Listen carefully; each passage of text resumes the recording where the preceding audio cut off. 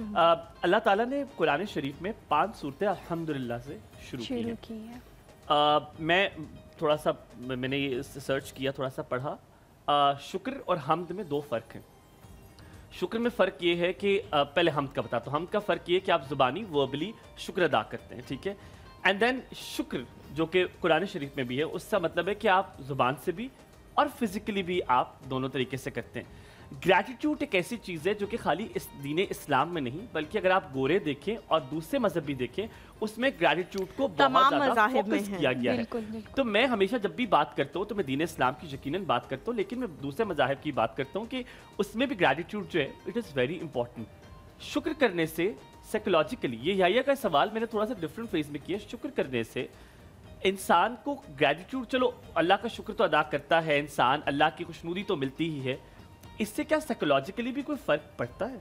Exactly exactly, आपकी mental health improve होती है सेल्फ सेटिस्फेक्शन आती है।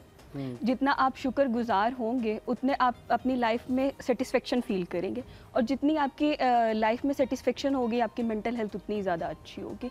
लेकिन अदर साइड अगर आप वही कंप्लेन करते रहेंगे कि मेरे पास ये चीज़ नहीं है ये चीज़ नहीं है ग्रेटिट्यूड नहीं है आपकी ज़िंदगी में तो फिर क्या होगा? आप ज़्यादा ओवर थिंकिंग कर रहे हैं एनजाइटी हो रही है फिर डिप्रेशन हो रहा है कंपैरिजन हो रहा है बहुत सारी चीज़ों में तो आपकी लाइफ में सेटिस्फेक्शन नहीं है। बिल्कुल। तो- तो जावेद की कॉल लेते हैं हम फिर आपके पास वापस आते हैं। जी जावेद हमारे हमारे हमारे साथ अस्सलाम वालेकुम जी वालेकुम सलाम क्या हाल है? बिल्कुल। आपका आपका पोएम देखते हैं हम जरा फ्रेश हो जाते हैं जो आपका सेट है जो आपकी बातचीत है बहुत- बहुत थैंक अच्छा यू लगता जी है। बहुत थैंक शुक्रिया यू अल्लाह सो सलामत मच रखे बहुत बहुत शुक्रिया। अच्छा आपका टॉपिक आज बहुत ज़बरदस्त है बात बहुत अच्छी कर दी सबने आप लोग जो बैठे हुए हैं तो वो सेटिस्फेक्शन जो है ना वो सुकून में है। ठीक है ना? जी, तो। अगर आप अपनी लाइफ से सेटिस्फाई हैं ठीक है ना? हर चीज़ का शुक्र अदा कर रहे हैं। और ये सोचें कि अल्लाह ताला ने हमारे नसीब में ये चीज़ ली और देखो कुरान शरीफ में अल्लाह ताला ने लिख दिया कि जो आपके लिए बेहतर होगा ना तो मैं आपको वो दूँगा। आप बस अल्लाह ताला से ये कहना कि अल्लाह ताला हम तेरी रजा में राज़ी। हम्म। हमारे लिए जो बेहतरीन है वो हमें अता कर।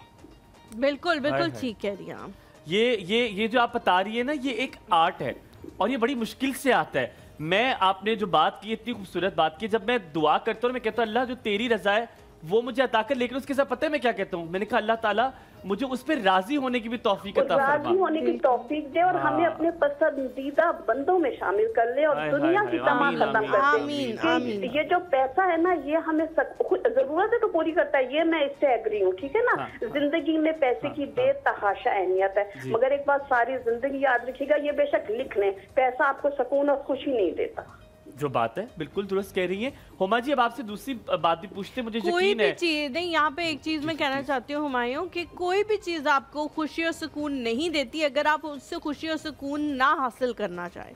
चाहे वो आपकी औलाद हो चाहे आपका स्पाउस हो चाहे आपका घर हो अगर आप खुद वो है ना कि आप उससे खुशी हासिल करना चाह रहे हैं तो आपको उससे मिलेगी वरना आपके पास कुछ भी सारा माइंड सेट है। हाँ, ये सारा माइंड हुमा जी आपकी अब अब दूसरा सवाल पूछते हैं आपसे। आपकी वालदा का जहेज तो होगा। कुछ याद है कोई मज़े की चीज़ जो आपको अब तक आपने रखी होगी?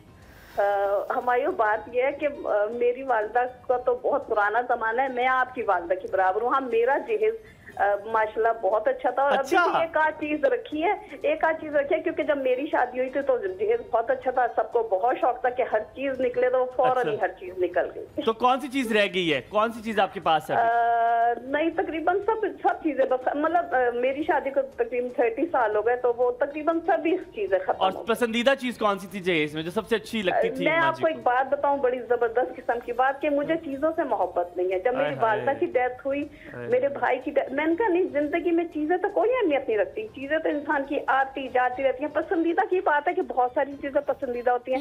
मगर इंसान ज़िंदगी में सबसे अहम होता है। अगर वो चला जाता है तो वो वापस नहीं आता।